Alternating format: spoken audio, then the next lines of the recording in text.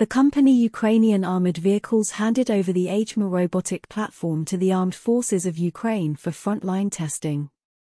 The developer of this platform is the Milanion company from the United Arab Emirates, and Ukrainian Armored Vehicles makes its improvements to these systems. Bohdan Petrov, acting chief designer of Ukrainian armored vehicles, told about this in an interview. The main objective of these tests is to verify the effectiveness of the AGEMA robotic platform under different frontline conditions. According to the conclusions of the military, it will be decided whether it is possible to finalize this platform in Ukraine or whether it is necessary to contact Milanion partners to make the necessary changes.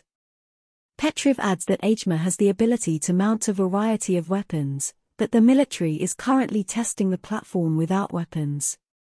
However, over time, AGEMA will probably be tested using different types of weapons, which will allow to decide on the choice of a specific weapon whether it is a machine gun and other anti-personnel weapons, or whether it is possible to install anti-tank systems.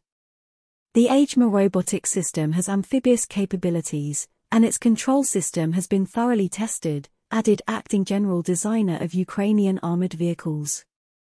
It was previously reported that the presentation of the AGEMA platform took place at the Arms and Security 2021 exhibition held in June this year. Also, Ukrainian armored vehicles signed an agreement to act as a dealer of AGEMA ground drones from the Milanion company in August 2021.